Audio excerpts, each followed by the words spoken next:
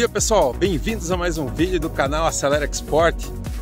Você que já me conhece, você sabe, eu sou o trader Carlos Moura. Se você está chegando aqui agora, esse é um canal de comércio exterior e eu sou um trader e professor de comércio internacional que leva conhecimentos para que você desenvolva sua carreira ou sua empresa, seja para exportar ou importar. Esse canal está repleto de conteúdo. E vocês, alguns que já acompanham, sabem que eu gosto de pedalar, tá aqui minha bicicleta, e eu uso essas oportunidades para fazer reflexões.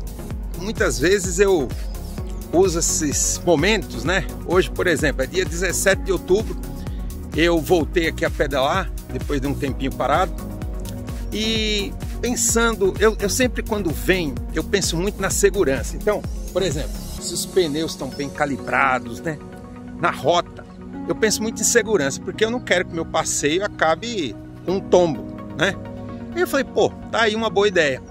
Eu vou falar para o pessoal aqui do canal sobre como estratégias aumentar segurança nas operações de comércio exterior, seja no transporte, ou seja, semelhante à bicicleta, como ter segurança no transporte, mas você tem outras questões que você deve pensar. Então, você quer aprender como ter mais segurança no comércio exterior? Assista esse vídeo até o final. E se você ainda não é inscrito no canal, aproveita agora, se inscreva, deixa aqui seus comentários, tá certo? Dê seu like também, que é importante para o YouTube distribuir esse vídeo para muita gente. E ó, amanhã, hoje é 17, amanhã é 18. Amanhã eu vou gravar uma videoaula especial. Como aumentar a segurança nas operações de comércio. Tá certo? Então, Espera aí um pouquinho, logo após a vinheta você vai assistir isso daí, tá bom? Um abraço, agora eu vou curtir o meu resto de passeio nesse domingão. Mas fica no vídeo, assiste ele até o final.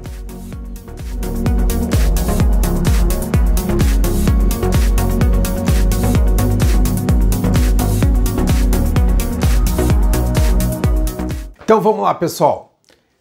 Gestão de riscos no comércio exterior, tá? Os riscos, eles são variados e existem riscos específicos quando você faz operações de exportação e riscos quando você faz operações de importação, tá certo? Inclusive, é, isso vai ser motivo de uma série, porque são muitos os riscos possíveis. Então, nesse primeiro conteúdo, nessa videoaula de hoje, nós vamos falar sobre riscos financeiros, tá? Riscos de crédito e riscos cambiais. Depois, na próxima semana, eu vou falar sobre riscos logísticos, sobretudo no transporte internacional. Depois, vamos falar o terceiro vídeo será riscos aduaneiros e o quarto vídeo para a gente encerrar essa série sobre riscos, riscos comerciais, tá certo? Então, como você vê, são muitas as possibilidades e riscos diferenciados que a gente tem no comércio exterior. Então, pessoal, sem perder tempo, vamos começar a videoaula, tá certo? Então, ó, primeiro, você pode ter risco de crédito. Na exportação, qual é o risco? Quando você vende a prazo, tá certo? Aqui no comércio interno, no mercado doméstico, é comum você vender a prazo, 60, 90 dias. No comércio exterior, tá? na exportação, você também pode vender a prazo. Os clientes querem isso. E por quê? Porque é uma forma dele se financiar de uma forma mais barata, tá certo? Por quê? Porque muitas vezes as empresas, né, fornecem o prazo e não colocam juros. O banco sim coloca juros. E se você não paga no prazo, vem juros extras. Então os bancos vivem de juros. Já no comércio, de forma geral, o, o, o prazo é uma concessão e muitas vezes esse percentual de juros não é colocado. E se o cliente atrasa, tá? Muitas vezes o cliente não paga por esse juros adicional. Já fica é, por parte do exportador, no caso, estamos falando de exportação, bancar isso aí. Então, Esse é o risco. E eventualmente o importador pode não pagar. Pode não pagar. Isso acontece. Como fazer para que isso reduza esse risco? Primeira coisa é uma carta de crédito confirmada por um banco de primeira linha. Uma carta de crédito. Quando você vai exportar, o seu cliente lá no exterior, tá?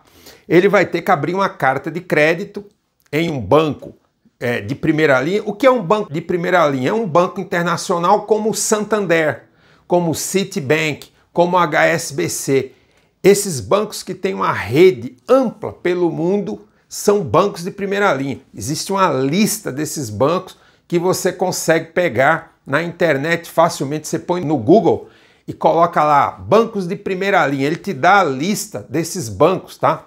Normalmente quem faz esse ranking são organismos internacionais é, que você pega facilmente. Coloca no Google e você vai ver lá. E aí, a carta de crédito, se você cumpre né, todos os requisitos e garantias, realmente a probabilidade que você não receba pela exportação que você fez é praticamente zero. Existe o risco? Sempre existe, tá? Não é 100%. Mas, digamos que é praticamente 100% a garantia de que você vai receber a, pela exportação que você fez quando você tem uma carta de crédito. Se você quer se aprofundar em carta de crédito, tem um outro vídeo aqui mesmo no nosso canal que eu falo sobre carta de crédito e você pode saber mais detalhes. Então, a primeira maneira que você reduz o risco de não receber é com a carta de crédito confirmada e que pode ser a prazo. Uma carta de crédito você pode muito bem, tá? Vender com prazos grandes, 180 dias, 300 dias, tá? No agronegócio se usa muito carta de crédito a prazo, às vezes com prazo de dois anos. E não tem problema, não tem problema nenhum. Você vai receber. Se você cumprir o que está na carta de crédito, porque é um contrato né, é, bancário, e que, se os dois lados cumprem com o negócio, ou seja, com os detalhes da exportação em relação a prazos, certificados de qualidade, tudo que for combinado lá, o banco vai pagar, tá? O banco realmente paga. Tem todo um sistema bancário, né, garantido que faz com que esse crédito se pague. O banco no exterior passa os fundos para o banco aqui no Brasil, e esse banco vai pagar você, a sua empresa, por uma carta de crédito. Então, essa é a primeira maneira. Segunda maneira, tá? De você reduzir o risco de crédito é com pré-pagamento. De quantos por cento? Normalmente a gente usa 30%, tá? Mas há caso de 50%. E aqui ah, já tem uma certa dificuldade. Por quê? Porque o cliente, para antecipar 30% para você, precisa te conhecer. Então, você vai ter que ter um processo de conhecimento mútuo, né, com dados, é, com dados de cadastro e operações. O, o, o seu banco pode, inclusive, ajudar para que reduza essa desconfiança inicial, porque digamos que o seu cliente trabalha com o Santander, seu cliente exterior, você também trabalha com o Santander. O banco pode dar dados, né? Você pode acessar, inclusive, dados que mostram que aquela empresa é uma empresa idônea. Então, é possível. Outra maneira né, de você é, saber isso é através das instituições de informações de crédito. Existem diversas que podem, aí você precisa pagar e você vai saber se esse cliente que você está vendendo é um bom pagador. Isso também é possível tá certo? E aí o cliente tá antecipa para você. E no momento do embarque, a gente faz o que a gente chama de CAD, que é o Cash Against Document. Ou seja, você mostra que embarcou a mercadoria, mostra o, o BL, né, que é o conhecimento marítimo internacional, ou a WB, que é o conhecimento aéreo. O cliente vê que a mercadoria está de posse do agente de cargas e aí ele passa o restante, tá? Se você vendeu a 30% inicial, você depois, com CAD, vai receber os outros 70%. E aí, sem dúvida, essa forma é uma das formas mais seguras para você reduzir o risco de crédito. Terceira forma que você pode ter mais segurança: seguro de crédito, tá? O seguro de crédito é um processo pouco mais complexo, por quê? Porque você precisa encontrar uma empresa seguradora. Aqui no Brasil, por exemplo, tem a Euler Hermes, que pertence ao grupo Allianz, que faz esse sistema do é, seguro de crédito. No Brasil, no passado, década de 90, início desse século, existiam empresas, inclusive do governo, que faziam seguro de crédito. Hoje já não tem mais, está complicado esse processo. Mas existem empresas privadas que você pode ter o seguro de crédito. Para quê? Para você vender a prazo e se o cliente não pagar, você recebe da seguradora. Por suposto, ou obviamente você tem que pagar um percentual, né? Você paga um percentual, é um seguro, seguro financeiro, né? Um seguro é, para que se o seu cliente lá fora não paga, a, a seguradora te paga com um pequeno deságio. Isso pode variar, mas pelo menos, tá? 95% do valor vendido você recupera. Isso para operações é, regulares é interessante também, tá? O seguro de crédito para que você possa vender a prazo e não tenha problemas, tá? Outra forma que também você pode usar para diminuir o risco de crédito é o ACC, a antecipação do contrato de câmbio. Bancos como, por exemplo, o Banco do Brasil, tá? Tem linhas de ACC. Então, você recebe o dinheiro, tá certo? E o banco a, a, assume a obrigação de cobrar o seu exportador também é uma forma. Então, ó, todas essas maneiras, né, você pode fazer. Agora, para você ter direito a um ACC, você precisa ser cliente do Banco do Brasil. Então, você tem que abrir uma, uma conta no Banco do Brasil e apresentar a documentação para o banco. O banco tem um deságio e você já recebe o dinheiro. Então, aqui, ó, são maneiras de você reduzir esse, esse risco de crédito, tá? na operação de exportação, tá certo? Agora vamos falar de outro risco ligado a dinheiro, que é o risco cambial, a variação da moeda. Aqui no Brasil, a variação da moeda é absurda. Poucos países do mundo, pelo menos eu posso afirmar, poucos países, tá, da América do Sul inclusive, tem uma flutuação cambial tão grande como existe aqui no Brasil. Aqui é terrível existe um processo, eu diria que especulativo, porque nos outros países, como Colômbia, como Peru, flutua, mas é muito menor. É muito menor. Aqui no Brasil não, varia demais. E aí vem as famosas explicações que é devido a risco político, risco disso, risco daquilo e tal. Mas no fundo, a variação cambial no Brasil é absurda. Nesse momento que eu estou fazendo esse vídeo, Hoje eu estou gravando, hoje é segunda-feira, né? Dia 18 de outubro de 2021. Eu vi a cotação do, do dólar real hoje e tá 5,51. Mas existe já projeções de chegar a, a 6 e no ano que vem, em função da eleição presidencial, pode chegar a 7. Olha isso aí. Bom, e o que fazer? Aí você tem ou uma ferramenta, principalmente para quem importa, que chama rede cambial. E você diz assim, pô, mas na exportação não tem um problema? Veja, quando o real está desvalorizado, como é o caso agora, e você é um exportador, você quer mais é que suba. Por quê? Porque você, quando receber os fundos, você vai ter muito mais reais, né? Então, se você está exportando e o real está se desvalorizando, você está feliz da vida. Agora, quem importa, não. Quem importa fica muito preocupado.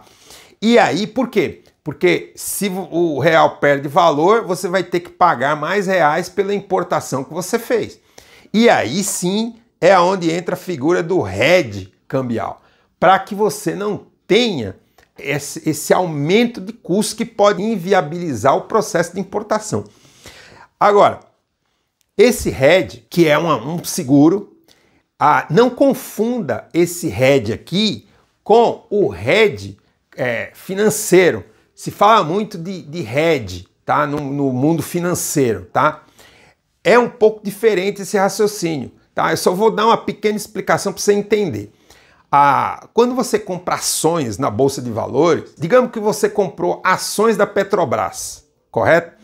E aí a ação da Petrobras ela caiu de valor. Você comprou por 10 reais uma ação e ela caiu para 8, né?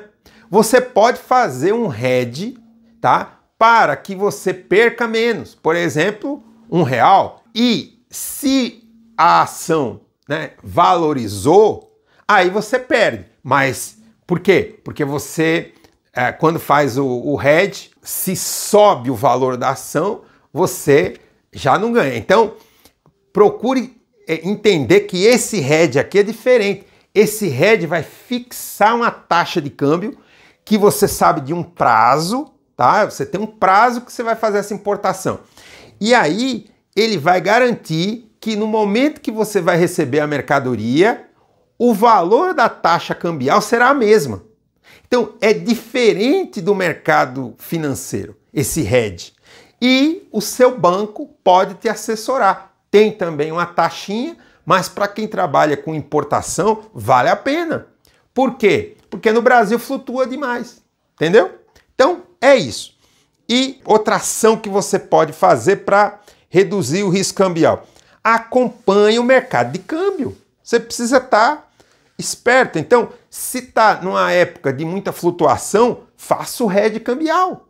Não tem jeito, não espere. Agora, existem épocas que o, o mercado de campo está mais estável, já não precisa você investir esse dinheiro contratando ah, o, câmbio. E outra coisa, você pode até fazer um hedge se você está exportando e o dólar está se desvalorizando, né? E o real se valorizando, complica quem exporta. Aí é a hora de você fazer um hedge para segurar a taxa na exportação.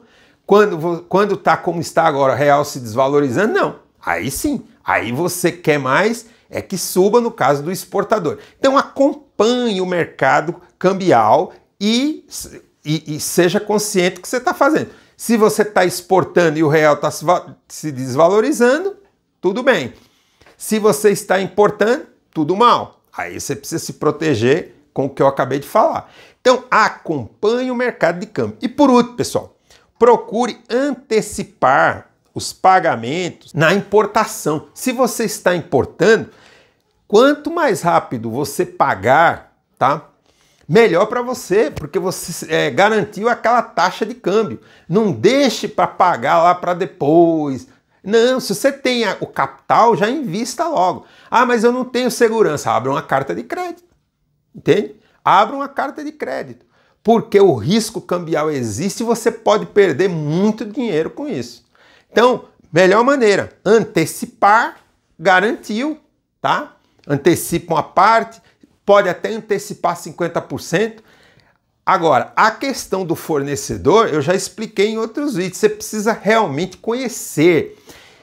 E tudo isso aqui é mais, vamos dizer assim, é, melhorado e, e mais equacionado quando você trabalha com empresas confiáveis. Então, se você vai importar, procure saber quem está exportando. Ah, mas eu não conheço. Procure quem conhece. Então, por exemplo, nós que assessoramos nossos clientes, tanto a, no caso do, das operações comerciais, que é a, a, nossa empresa Atena Trading, nós é, conhecemos os fornecedores e temos N conexões que podem permitir você ter essa segurança. Conte conosco.